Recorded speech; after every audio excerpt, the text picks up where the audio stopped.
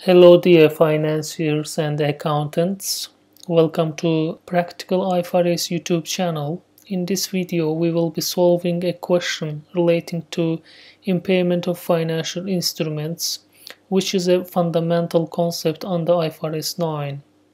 The question says Elephant Company purchased a loan on the 1st of January in 2018 and it is classified as at amortized cost. The information given is as follows so nominal value is $40 million of the bond, coupon rate is 7% per annum, years to maturity is 3 years, acquisition price is uh, $37 million and effective interest rate is around 10%. Also, also we are given the loss allowances as you see on the screen at the beginning of 2018, loss allowance was $1 million, then at the end it was $1.5 million. In 2019 it was $1.2 million and in the end of 2020 it was nil. The, the question asks us uh, to show the double entry for each transaction for the each year till the maturity of the bond. Now let's solve the question together. So Elephant Co has purchased a loan in the beginning of 2018 and it has been measured at uh, amortized cost. Here loss allowances have been included as well uh, and uh, we will treat them in accordance with uh, IFRS 9. First of all we need to construct an amortization table. The maturity of the loan is for three years. Amortized cost will be uh, calculated as usual.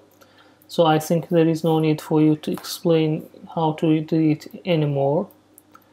Okay. I'm just constructing the table.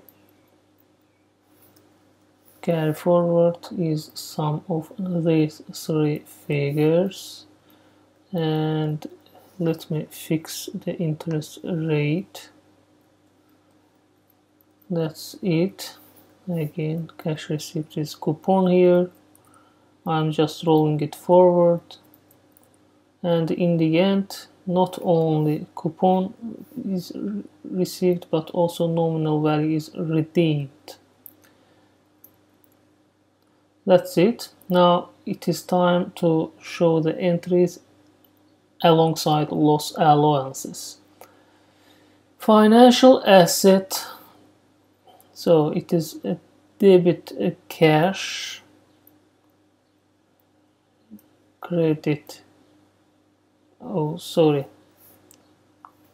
debit financial asset, credit cash, uh, loss allowance is uh, credit uh, credit uh, 1 million debit PL because it is loss expense. It is increased by debit side. And then interest accrue of course to 3.71 million dollars. And uh,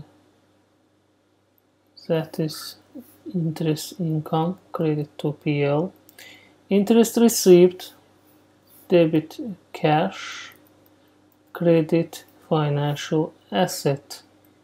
Remeasurement of uh, loss allowance. Please pay attention to this carefully, guys.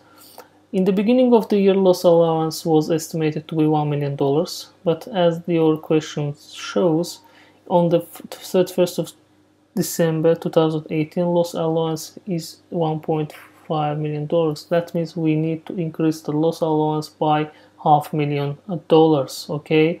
And it is negative because we are increasing the loss allowance and debit P&L that means because increase of loss allowance means increase of expenses losses.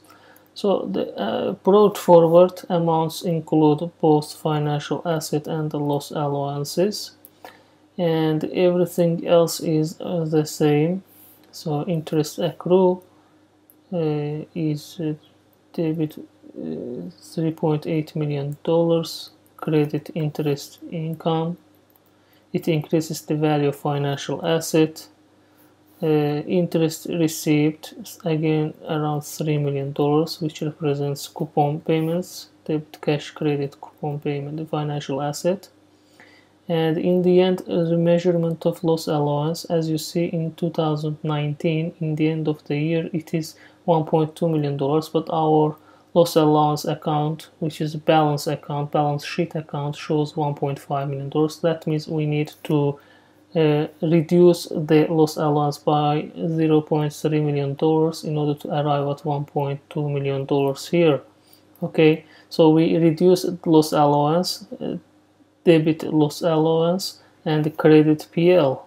So we reverse the loss uh, by 0.3 million uh, dollars.